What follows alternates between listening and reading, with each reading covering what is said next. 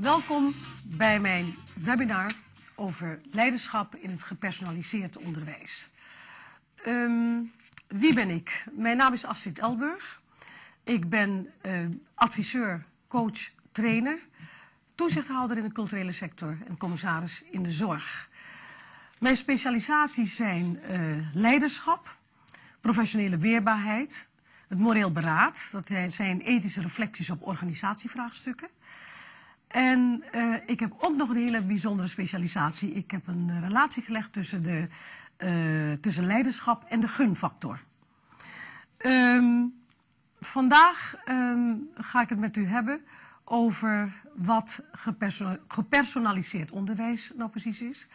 En uh, ik neem u mee in mijn visie over het leiderschap dat ik voorzie of dat ik u toewens in de 21ste eeuw. De inhoud. Um, de betekenis van het gepersonaliseerd onderwijs uh, uiteraard. Leiderschapsontwikkeling. En uh, mijn idee over een toevoeging aan het huidige curriculum in het onderwijs. En dan uh, vatten wij samen. En uiteraard kunt u mij vragen stellen.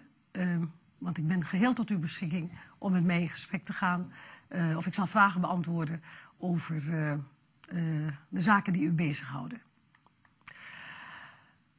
Um, gepersonaliseerd onderwijs, wat is dat? Um, wat mij betreft uh, vereist persoonlijk onderwijs een sterke focus op persoonlijke ontwikkeling van docenten, management en bestuur.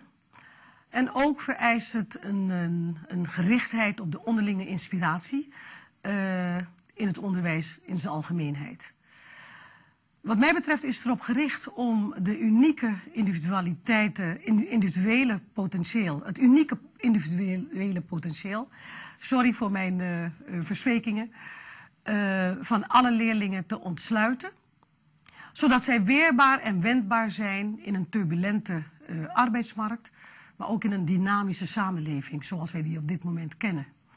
Gepersonaliseerd onderwijs gaat voor mij dus over inclusief onderwijs, het, het, de inclusie van talenten, vaardigheden, culturen en achtergronden. En het gaat ook over het streven naar een kwaliteitscultuur binnen het onderwijs, waarin bezieling en professionele ruimte uh, wordt gewaardeerd en benut. Um, het gaat dus uiteindelijk om dat, uh, dat wij als docenten uh, leerlingen meenemen om te leren leven in de gewone wereld van, van alle dag. Uh, en ook kunnen bijdragen aan een vitale samenleving.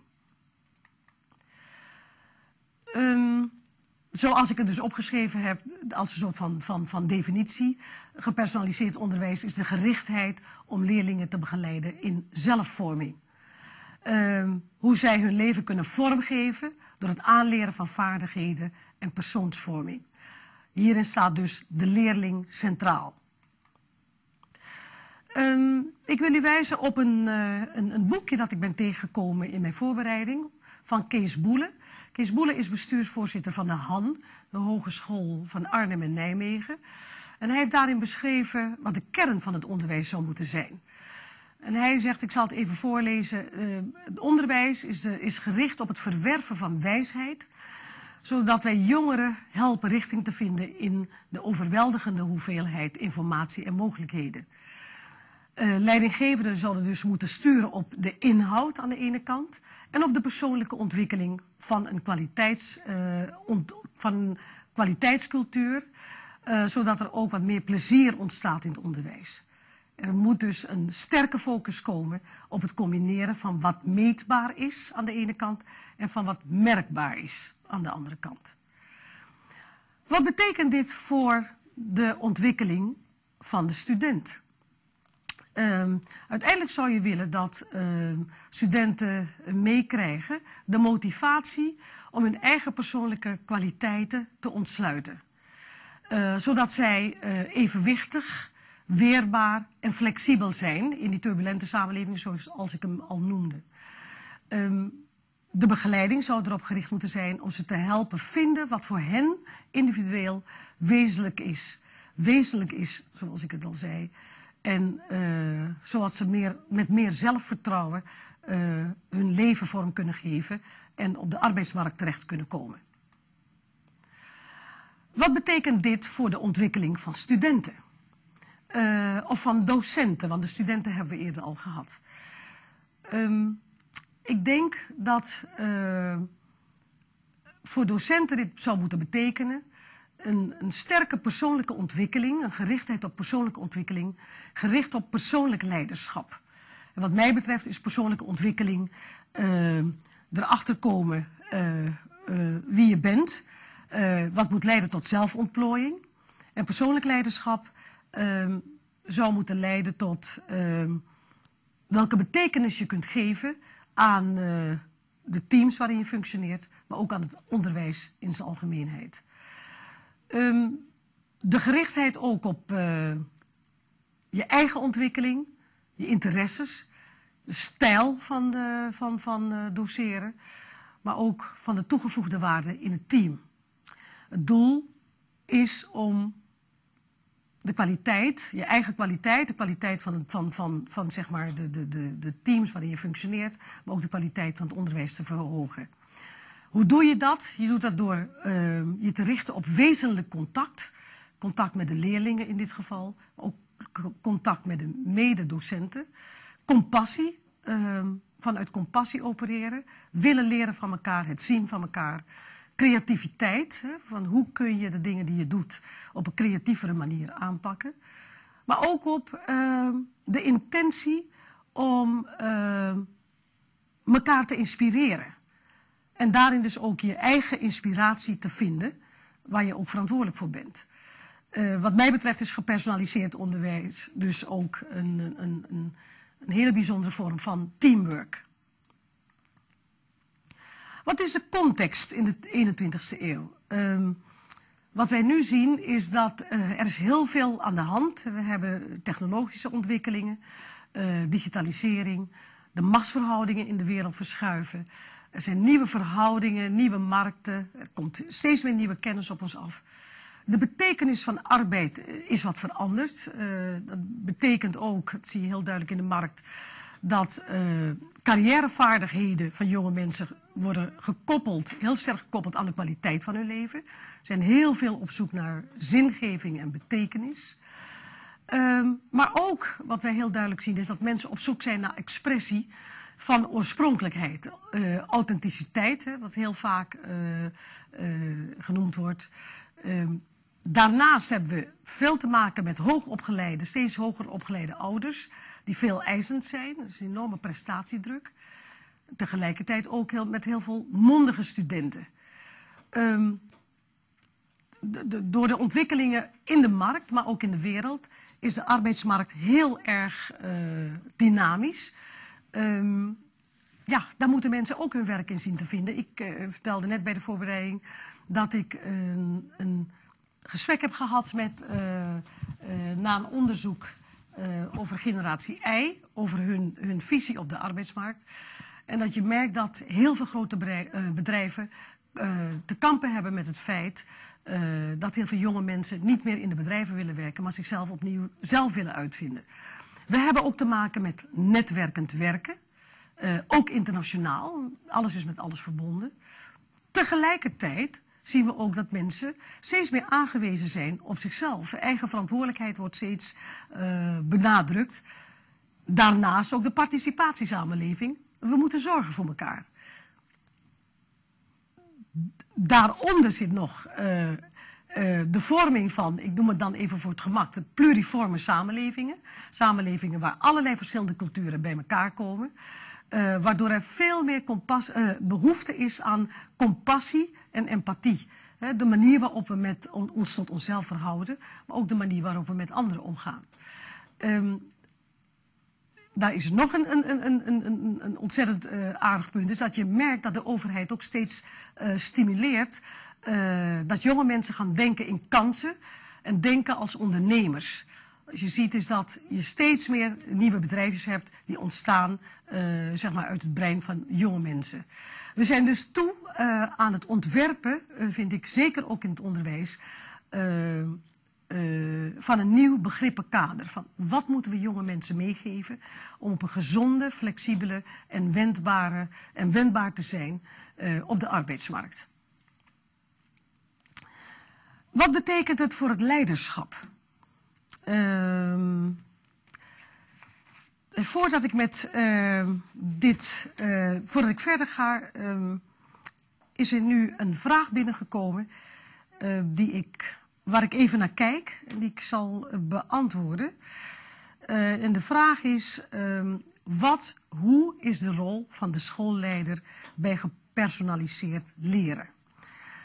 Um, wat ik denk, en daar kom ik zeker bij een van mijn latere uh, uh, slides op terug, is dat er ook een rol voor een hele nadrukkelijke rol voor de schoolleider is weggelegd. Ik stel voor dat ik deze vraag even parkeer. Ik kom er zo op terug, omdat het in mijn verhaal naar voren komt. Um, wat betekent dat voor het leiderschap in, in het onderwijs? En dat is heel grappig, want ik heb een eigen definitie ontwikkeld van wat leiderschap überhaupt is. Uh, zoals u weet wordt er ontzettend veel geschreven over, over leiderschap in zijn algemeenheid. Maar mijn definitie over leiderschap is uh, voor ieder uh, op zich. Leiderschap is de ultieme versie van jezelf leven. Of de ultieme versie van jezelf geven. maar ook het onverwachte potentieel in anderen zien. En ik noem het uh, bewust onverwacht, omdat er heel uh, nadrukkelijk gekeken moet worden in jouw leiderschap, wat je kunt betekenen voor, voor anderen en in de samenwerking met anderen.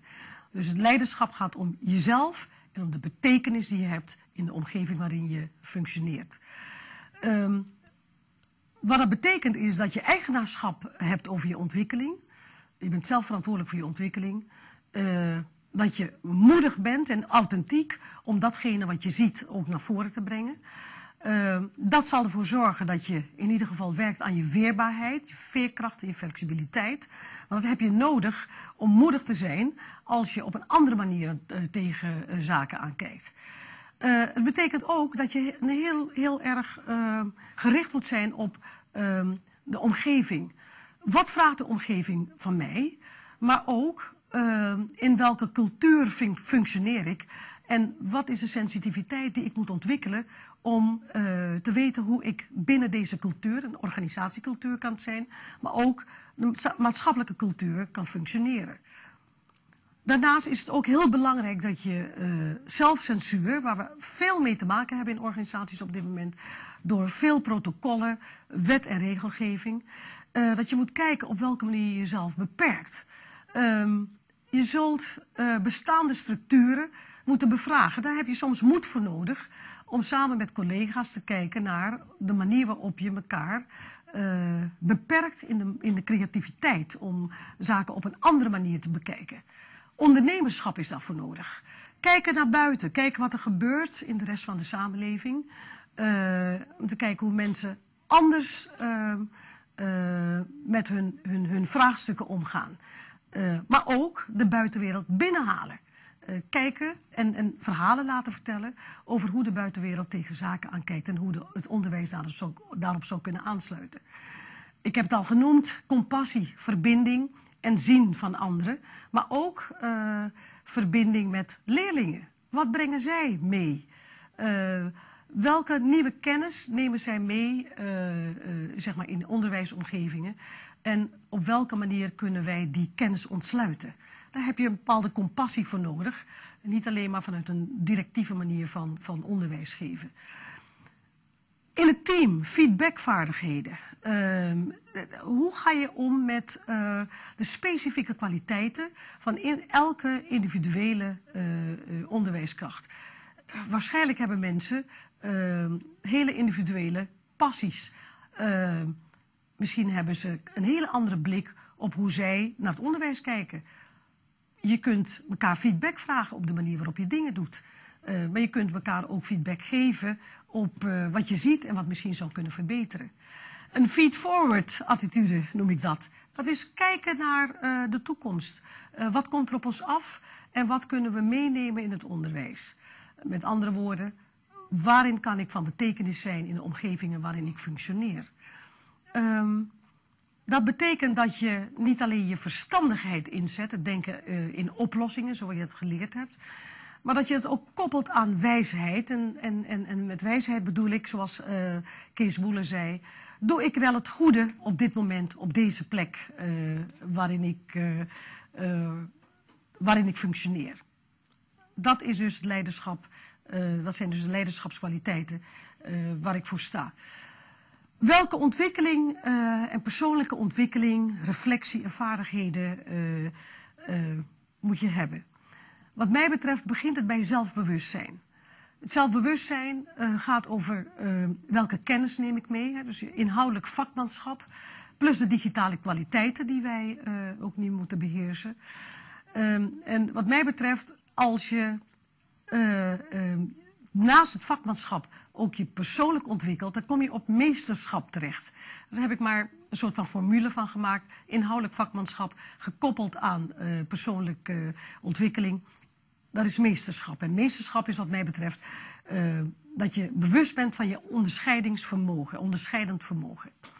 Daarnaast, hè, dus zelfbewustzijn, is, het context, is je contextbewustzijn ook belangrijk. De context is de richting die je aan jezelf geeft uh, uh, in een bepaalde omgeving. En wat is de betekenis voor anderen in die, in die omgeving. Dat betekent dus ook in die context het zien van het potentieel van anderen, van de collega's en de leerlingen. En die ook heel actief inzetten. Dus trouw aan jezelf en betrokkenheid uh, met je vak en met de mensen om je heen. Dat betekent uiteindelijk dat je bezig bent met het ontwikkelen van een betekenisgerichte mentaliteit. Wat is daarin je verantwoordelijkheid? De verantwoordelijkheid is het definiëren van een gewenste attitude en de toegevoegde waarde je verantwoordelijkheid is ook het bespreken van gezamenlijke waarden. Uh, en de verhouding tot elkaar. Hoe verhoud je je tot elkaar en hoe ga je samen de teams verder brengen? Het creëren van een kwaliteitscultuur uh, in een open, constructieve sfeer. Ik heb het al genoemd, wat mij betreft is het leiderschap in het onderwijs een kwestie van teamwork. Uh, maar ook het bewustzijn van jouw eigen authentieke waarneembaar gedrag. En ook het waarneembaar gedrag van anderen, waar je elkaar ook feedback op kan geven.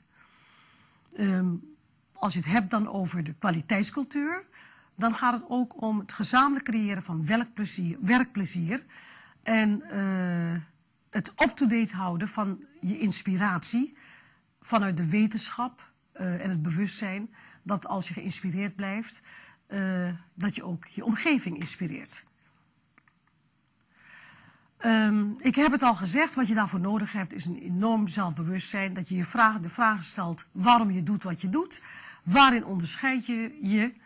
Uh, voel je energiek en voldaan. Uh, zoals wij weten is er heel veel uh, burn-out onder onderwijskrachten. Dus het is ook je verantwoordelijkheid dat je weet dat je je bewust bent van waar je energie vandaan haalt. En of je ook voldoening haalt uit de dingen die je doet vanuit de context kun je vragen wat jij kunt betekenen in het onderwijs. En voor de samenleving. Um, op dit moment zijn we heel erg veel bezig in het onderwijs. Dat noemen we dan met een ouderwets woord het, geprogrammeerd, het geprogrammeerde leren. Vooral met de inhoud, inhoudelijk curriculum, analytisch, verklarend, informatief, uh, het stimuleren van nieuwsgierigheid en onderzoeksdrang. En daarin leren we ook nog vaardigheden over kennis, uh, om kennis over te brengen, te reproduceren en toe te passen. Um, even nog een slokje water. Uh, de technologie is erbij gekomen. Waardoor uh, wij natuurlijk uh, met het hoofd, hè, de inhoudelijkheid, ook nog de handen be, uh, gebruiken. De kennis van digitale processen, inrichting van leerprocessen en leerlingvolgsystemen. Het meten van resultaten. En daar hebben we heel veel vaardigheden voor. Het vaardigheden als inrichten en aanbieden van lesmateriaal, interpreteren van resultaten en de advisering voor carrière-richtingen. Wat mij betreft is er nu ook is er behoefte aan, aan, aan bezieling. Uh, Het werken met hart en ziel. Het nadenken over waar je inspiratie vandaan haalt. En hoe zet je het enthousiasme van leerlingen in en maak je gebruik van hun, zoals ik het noem, perifere kennis. Uh, dat is de kennis die zij meenemen. De kennis die dus buiten het curriculum valt, wat je heel goed zou kunnen inzetten om het onderwijs op mede vorm te geven. Uh, hoe word je behalve nieuwsgierig ook opmerkzaam? En dat is een hele mooie, die heb ik van Vincent Ike. Vincent Ike, onze, een van onze belangrijke natuurkundigen, die zegt we zijn ontzettend uh, nieuwsgierig geworden sinds de verlichting. Maar eigenlijk moeten we ook goed kijken naar elkaar. We moeten veel meer opmerkzaam worden van wat ons beweegt. Uh, en welke sensaties we opmerken bij anderen die we zouden kunnen inzetten in onze leerprocessen. Met andere woorden, hoe ontsluit je de magie van het leren en van het doseren? Um, daarvoor heb je niet alleen maar oog nodig, uh, maar ik, ik, ik, beweer dat je ook je buik uh, kan gebruiken. Je guts, zoals ik het ook noem. Um, om oplettend te zijn voor enthousiasme en bevlogenheid. Voor welbevinden van, uh, van leerlingen, maar ook voor mededocenten. Of ze gemotiveerd zijn, of ze geconcentreerd zijn. Um, maar wat je ook nodig hebt is vertrouwen en het, het, het ontwerpen van vrije creatieve ruimte. Uh, en ook oog voor anders. Hè? Welke andere denkbeelden nemen mensen mee? En hoe uniek, hè, de uniciteit van anderen. Welke unieke, uniek verbeeldingskracht nemen mensen mee? Uh, wat je zou kunnen inzetten om elkaar te inspireren. Um, maar ook nog oog en buik voor het bouwen aan waardevolle relaties. Met leerlingen, maar ook met het team. Uh, van docenten. Um, zelf um, wilde ik ook inbrengen dat het belangrijk is om te luisteren naar elkaar. Um, te luisteren naar jezelf, hè, om zelf geïnspireerd te blijven. Zien, uh, ook het zien van het potentieel van leerlingen, maar ook te luisteren naar ze. Het horen van de wensen en verlangen. Maar ook het vieren van successen. En ook het vieren van de energie die je, daar met, die je samen kunt, kunt genereren. En ik had iets heel geks bedacht. Ik dacht, je zou, we hebben tegenwoordig uh, overal in, in, organisaties. En dan kijk ik naar de schoolleider bijvoorbeeld. Uh, we kijken, oh, we hebben, een, een, een, uh, we hebben CEO's, we hebben CFO's, die gaan over de financiën. Maar wat we eigenlijk in, in organisaties zouden moeten halen, dat zijn CLO's. En CLO's zijn Chief Listening Officers. En wat mij betreft uh, kom ik terug op de vraag die mij eerder is gesteld. Uh, hoe is de rol van de schoolleider bij gepersonaliseerd uh, leren? Wat mij betreft zou een, een, schoolleider een goede luisteraar moeten zijn. Dus zijn ogen en zijn oren te luisteren leggen. Om te kijken wat er gebeurt. Daar ook zijn hart en zijn ziel. Dus en, zijn ogen, maar ook zijn, buik gebruiken om te weten wat er gebeurt. Dus goed luisteren naar uh, uh, welk potentieel er rondloopt, zowel van de leerlingen als de leerkrachten, om een, een, een nieuw curriculum uh, te ontwikkelen. Bestuur en schoolleiding, wat mij betreft, en de schoolleider is net al langsgekomen, die zullen dus zelf het voorbeeld moeten geven van hoe je dat doet. Hè. Ze zullen dat moeten voorleven. Ze zullen het uh, vertrouwen moeten geven, zodat docenten uh, ruimte, hun creatieve, professionele ruimte kunnen, kunnen uh, ont ontwikkelen. je zou ze moeten uitnodigen tot creativiteit, het organiseren van die creativiteit. Je zou elkaar kunnen uitdagen om andere kwaliteiten te ontsluiten, andere kwaliteiten van elkaar, naast die inhoudelijke kwaliteiten. Uh, je zou je kunnen richten op sensaties uh, als enthousiasme uh, of bijvoorbeeld bezorgdheid. Doe er wat eens wat mee. En laat het niet zomaar uh, wegvloeien, waardoor mensen gedemotiveerd raken. Maar kijk eens of je bij dat enthousiasme kan komen. Kijk of er mensen zijn die op een hele specifieke manier kunnen enthousiasmeren. Um, het is ook misschien interessant om te kijken of je richting kunt geven naast ervoor te zorgen dat alles gewoon goed loopt. En de, de, de hoge persoonlijke ontwikkeling, zoals ik het net al noemde aan het begin van mijn verhaal. De hoge persoonlijke ontwikkeling in dat opzicht stimuleren. Zodat je waarde creëert met elkaar. En uh, een omgeving, een kwaliteitsomgeving creëert uh, voor het faciliteren en borgen van kwaliteit in dit opzicht. Uh, ik heb het al genoemd. Docenten, voorleven, laten zien hoe het kan. Uh, je moet je kunnen durven verbeelden. Dat is de moed waar ik al eerder over had. Durven verbeelden hoe het eruit ziet. Op het moment dat je dat voorleeft. Maar op het moment dat je de creativiteit uh, binnenhaalt. De buitenwereld binnenhalen, heb ik al eens eerder gezegd. maar ook je eigen intrinsieke motivatie. Hè? Wat, wat drijft jou? Waarom doe je wat je doet? Daar het ook over hebben met elkaar in, de, in het team. Het enthousiasme tonen, heel bewust, maar ook laten zien hoe het eruit ziet. Ook van leerlingen oprechte interesse voor elkaar. Uh, en leren ervaren van dat, van, van enthousiasme naast weten wat je hebt gemeten. Dus ik, ik, ik zit heel erg veel op zintuigelijke ervaringen. De studenten, wat zou je bij de studenten kunnen halen? Uh, je zou de studenten kunnen uitnodigen om datgene wat ze zien uh, uh, te verbeelden, te vertellen, mee te nemen naar school. Uh, de perifere kennis, maar ook het enthousiasme, wat ze misschien ergens anders uh, dan naast het onderwijs ergens anders oppikken. Haal de buitenwereld binnen. Stimuleer het, het afkijken, dat noemen ze in de coaching modelleren, van elkaar. Er zijn, soms heb je een heleboel enthousiaste leerlingen. Dat enthousiasme kun je inzetten als een, een leerpunt. Hoe kunnen studenten of leerlingen die minder enthousiast zijn, leerlingen van het enthousiasme van anderen. En wat nemen zij mee waarin zij enthousiast, waar zij enthousiast voor zijn. Uh, onderzoek wat ze zien en voelen. Niet alleen wat ze denken of wat ze reproduceren, maar wat voelen ze, wat zien ze, wat, wat pikken ze op in de markt. Uh, kijk of je samen speelruimte kunt ontwikkelen met studenten en leerkrachten. Uh, maak, maak, een omgeving waarin de homo ludens, zoals dat mooi altijd gezegd wordt in het Latijn, de homo, homo ludens weer tot leven komt. Uh, stimuleer zintuigelijke waarneming uh, naast rationele analyse. Maar leer ze ook om zich te onderscheiden en hoe zich te onderscheiden van, van elkaar. Laat ze merken dat je ook van hen leert. Uh, nieuw te ontwikkelen. Ik zei dat ik daar naartoe wilde. Uh, en uh, als u vragen heeft, dan hoor ik het natuurlijk graag. Ik uh, wil ze ook graag beantwoorden. Een, nieuwe vormingsgerichte attitude op scholen. Uh, ik ben betrokken bij een beelddoenacademie in aan de Universiteit van Amsterdam. Uh, waarnaast de, de laatste maagdenhuisbezetting studenten de universiteit hebben bezet en gezegd hebben wij willen niet alleen maar gericht zijn op cognitie, maar willen wij, wij willen ook aandacht voor hoe wij ons persoonlijk moeten ontwikkelen. Want wij leven in een hele complexe samenleving en wij moeten leren hoe we ons, uh, hoe we ons verhouden tot elkaar, maar ook hoe we ons tot onszelf verhouden om van betekenis te zijn.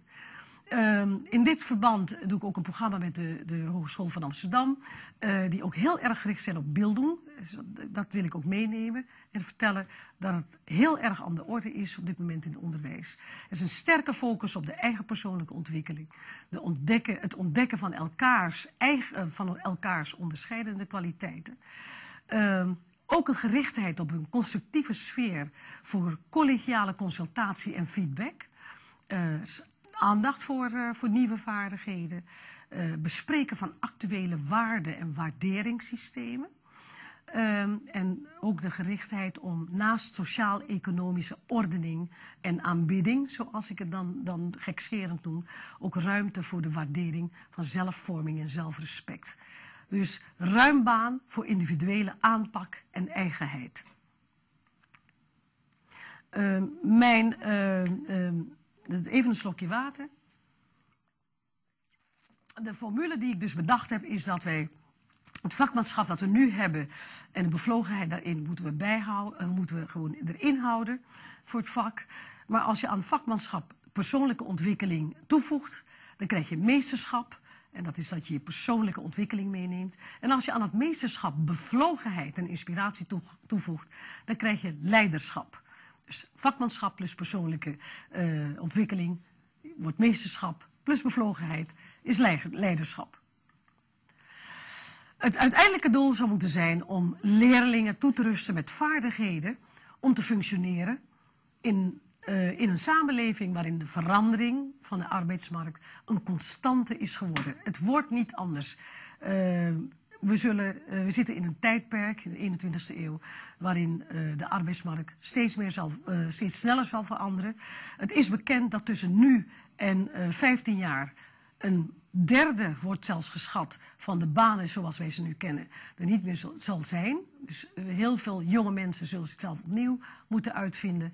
Dat betekent dat ze ook voortdurend bezig moeten zijn met hun persoonlijk in, onderscheidend vermogen. Dus toeristen met vaardigheden, maar ook leveren van denkgereedschap. Dat is een term uit de filosofie, waar ik ook van ben. Denkgereedschap uh, voor het leven in een pluriforme, dynamische wereld. Dus als wij noemen het dan heel simpel in een multiculturele samenleving, maar het gaat ook om een, een multiculturele of een pluriforme wereld. Daar hebben ze ook denkgereedschap voor nodig en, en, en compassie. Uh, het uiteindelijke doel moet enerzijds gericht zijn op de eigen verantwoordelijkheid en anderzijds uh, gericht om onderdeel uit te maken van een weerbare samenleving waar zij een, een bijdrage aan kunnen leveren. Um, de visie op, mijn, op, op, het onderwijs in de 20, 21ste eeuw van mij uh, is dus uh, de ontwikkeling van een nieuwe mindset, attitude en de bijbehorende vaardigheden, zoals ik ze net al allemaal heb opgezond. Het opheffen van zelfcensuur, het oprekken van profe professionele ruimte. Uh, uh, wees aanschouwelijk, heel veelzijdig. Improviseer. Uh, let op uh, de unieke, het unieke potentieel van ieder, ieder leerling. wees niet krampachtig, maar rek je professionele ruimte op. kom met creatieve oplossingen. en handel vanuit persoonlijk leiderschap. Geef ook het voorbeeld. Ehm, dat is eigenlijk mijn, mijn visie op, op onderwijs en leiderschap in de 21ste eeuw. Wat ik daarvoor wil zeggen, en dat is dat ik denk dat met het curriculum dat wij uh, nu al, het, inhoudelijk curriculum dat wij nu ontwikkeld hebben, wat ik dolgraag u zou willen toewensen, is dat u wat meer met uw hart in het vak zit, op zoek gaat naar, naar persoonlijk leiderschap, bevlogenheid, bezieling en verbinding maakt met de leerlingen, maar ook met de teams. En ik hoop dat het leiderschap in, in het onderwijs, in het gepersonaliseerd onderwijs, dit ter harte neemt.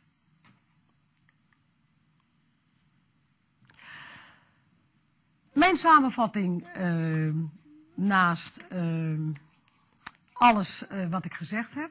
Maar ik wil even kijken of er nog vragen zijn die ik zou kunnen beantwoorden.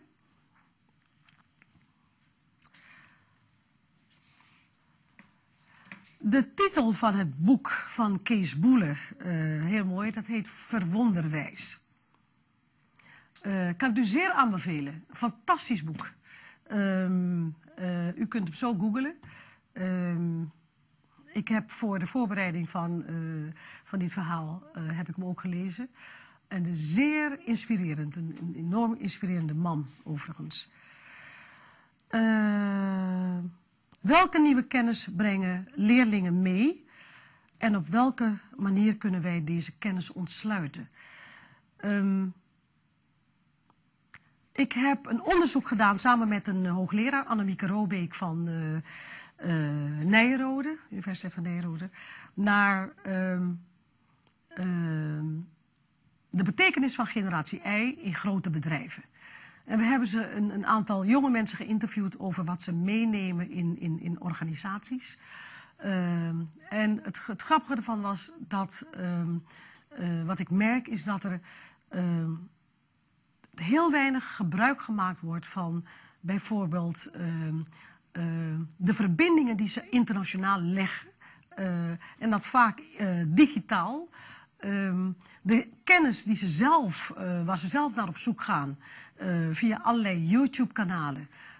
maar ook de, de, de, de, de, discussies die ze hebben bij, bij start-ups enzovoorts, enzovoorts. Ik merk dat er in organisaties heel weinig gebruik van gemaakt wordt. Als je bekijkt op leerlingniveau, dan zie je heel vaak dat er heel veel verschillende kanalen zijn waar leerlingen met, met elkaar hebben over een aantal ontwikkelingen in samenlevingen. Wat mij betreft, als je mij heel specifiek vraagt welke kennis dat precies is, dat zou ik nu op dit moment niet kunnen zeggen. Maar ik kan me voorstellen dat je uh, in leerlabs of in, in, in, in, omgevingen in, in, in, in, op school, dat je ze uitdaagt en uitnodigt om te vertellen wat ze zien, wat ze voelen, wat ze denken. Zodat je dat kunt toevoegen aan het inhoudelijk curriculum. Dus je zou daar een, een, een soort van omgeving voor kunnen creëren waar ze voortdurend toevoegen.